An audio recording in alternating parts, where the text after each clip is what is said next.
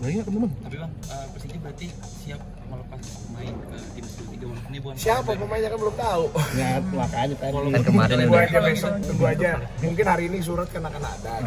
Jangan-jangan ada yang dipanggil ke GRan apa tuh. Bang, ini deh berkaca dari lima pemain yang panggil. Itu kan lima pemain bisa dibilang ya kunci di Persija.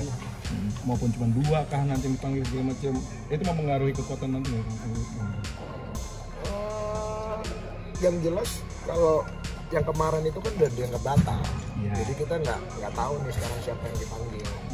Gitu. Kalau memang apa namanya jangan-jangan kan yang tadi saya bilang jangan nggak ada yang dipanggil. gitu kan. Jadi ngapain kita ngasih sekarang? Seneng ya kami.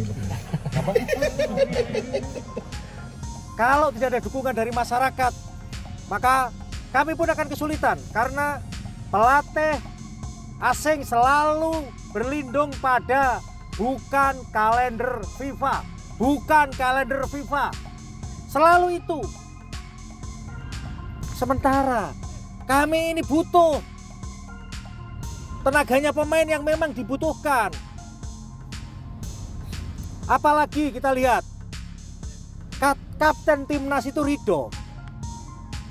Kalau kapten timnas Rido saja nggak dikasih, yang harus kita pikir pada saat kita pertandingan, pada saat kita kompetisi, lawannya negara lain, Malaysia, Vietnam, Thailand, terus kita kalah, hasilnya minus. Mau taruh di mana harga diri bangsa? Kok kayaknya kita ini hanya manggil satu orang saya susahnya minta ampun. Saya kira ini perlu jadi perhatian kita semua dan saya minta dukungan masyarakat. tersebut. Tapi apa pun ini bagi Pak Sumarji, ya tentunya seakan-akan ini tidak menghargai panggilan untuk bermain di tim nasional. Terlepas dari Piala AFF ini dikatakan piala yang tidak oh, apa ya, bukan agenda FIFA, ya atau banyak yang bilang ini piala ciki, kasih aja yang yang lain-lain tidak usah dipaksakan. Tapi tidak juga karena ini kan kemauan dari STY meminta ini membawa nama negara terlepas di Piala AFF tapi ini untuk Indonesia. Sehingga Pak Sumarji sebagai manajer ya bertanggung jawab juga. Dan dia mungkin agak geram dengan cara-cara seperti ini. Dia tidak bisa eh, menerima apa yang eh, terjadi dengan dua pemain yang diharapkan masih bisa bergabung sebenarnya. Tapi PSM nampakkan berkeras untuk tidak melepas Zaki demikian juga dengan Rizky Ridho karena Rizky Ridho apalagi ini pemain top ya dan kemarin juga ikut menyelamatkan Persija kan dengan gol balasan dia. Dan eh, ini sayang kalau Rizky Ridho tidak bisa eh, tidak bisa memperkuat ya. Eh, tim U23 di Piala AFF namun tetap bagi PSSI harus terus maju harus terus melangkah ya. Mau tanpa Zaki dan tanpa Rizky Ridho ini harus disiapkan pemain-pemain untuk bisa mengganti. PSSI bersama Liga dan Badan Tim Nasional yang sudah dibangun itu bersepakat bahwa seluruh klub mandatori, saya ingatkan pemilik klub, mandatori mendukung tim nasional. Ya, apalagi jadwalnya sudah disepakati jauh-jauh hari, bukan mendadak. Ya, sebelum liga mulai, jadwal tim nasional kita sudah berikan. Nah, jadi tidak ada alasan ya klub-klub tidak melepas pemain. Melepas pemain, saya turun tangan langsung. Ya, merah putihnya bagaimana? Karena jadwalnya sudah ada. Kalau dulu ketika jadwal tim nasional belum diatur dengan baik oleh PSSI, itu salahnya PSSI. Kalau sekarang jadwalnya sudah benar-benar diatur. Ya, di situ jelas ada bulan Juni ini tidak mengganggu liga. Tetapi di bulan September, Oktober, November, bahkan juga Desember, Januari, liga harus punya komitmen dan sudah disepakati. Ketua Badan Tim Nasional (BTN) Sumarji Murka usai sejumlah klub menahan pemain untuk bergabung dengan Timnas Indonesia U23 proyeksi Piala AFF U23 2023.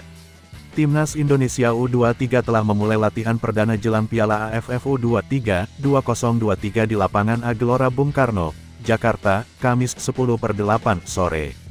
Sebanyak 17 pemain hadir dan 6 pemain masih absen dalam latihan perdana yang dipimpin Shin Taeyong. 6 pemain yang belum hadir dalam TC Timnas Indonesia U23 pada Kamis 10 per 8 adalah Alveandra Dewangga, Kadek Arel, Muhammad Adi Satrio, Rizky Rido, Zaki Asraf, dan Beckham Putra. Usai latihan perdana, Sumarji mengungkapkan kemarahannya lantaran ada sejumlah klub yang menahan pemain bergabung dengan Timnas Indonesia U23. Pertama Persija Jakarta dan yang kedua PSM Makassar. Yang perlu saya sampaikan dan informasikan, untuk kepentingan nasional hanya dipanggil untuk memperkuat timnas. Itu saja sama pelatihnya ditahan, tidak dilepas, kata Sumarji, Kamis, 10 per 8. Sumarji menegaskan Indonesia membutuhkan para pemain yang dipanggil tersebut untuk membela timnas. Bangsa ini membutuhkan tenaga, pikiran dari pemain yang dibutuhkan. Tapi kalau pelatih asingnya yang ada di negara ini dan mencari makan di negara ini mempersulit akhirnya masyarakat bisa menilai sendiri, ucap Sumarji. Sumarji pun mengatakan bakal melaporkan klub-klub yang menahan pemain tersebut kepada Ketua Umum PSSI Erick Thohir.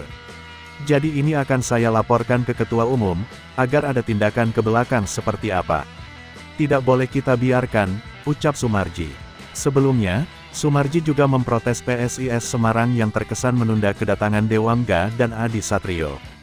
Namun, keklub sudah mengonfirmasi kedua pemain bakal tiba di Jakarta pada Jumat 11 per 8. Piala AFF U23 2023 akan berlangsung pada 17 hingga tanggal 26 Agustus mendatang di Thailand. Indonesia tergabung di grup B bersama Timor Leste dan Malaysia. STY mengerti klub tidak melepas pemain ke timnas Indonesia U23 pada TC jelang Piala AFF U23 2023. Menurut STY, klub tidak memiliki kewajiban melepas pemain ke timnas Indonesia U23 untuk Piala AFF U23. Karena itu dirinya tidak ingin memaksa klub untuk menyerahkan pemain. Memang dari klub tidak wajib untuk melepas pemain karena ini Piala AFF U23. Saya bisa mengerti hari-hari para pelatih di klub seperti apa, kata STY di Jakarta, Kamis 10 per 8. Mereka punya target masing-masing dan prestasi di Liga, apalagi pemain yang dipanggil ke Timnas U23, adalah pemain inti di tim mereka, ujarnya menambahkan. Juru taktik asal Korea Selatan itu bahkan memberi saran agar Piala AFF U23 tidak perlu digelar kembali di masa depan. Menurutnya, Piala AFF U23 merugikan keberlangsungan sepak bola pada satu negara karena bentrok dengan jadwal pertandingan kompetisi domestik. Turnamen AFF U23 ini sebenarnya merugikan liga dan mengganggu perkembangan sepak bola sebuah negara.